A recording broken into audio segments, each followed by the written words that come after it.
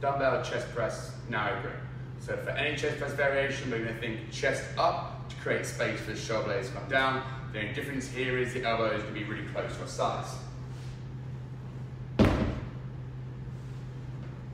So with the arms long, set the shoulder blades down, squeeze your bum, tailbone tuck, elbows come against the side of the rib cage, no lower than the level of the spine, press to start position, really squeeze the triceps in the lockout.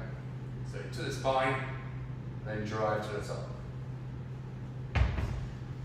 Because the focus is to get the triceps more engaged, coming down really low isn't really going to do anything for you other than alter your shoulder positioning. So I always cue second elbow touches the side the side of the trunk, that's end range, and then drive to the top position.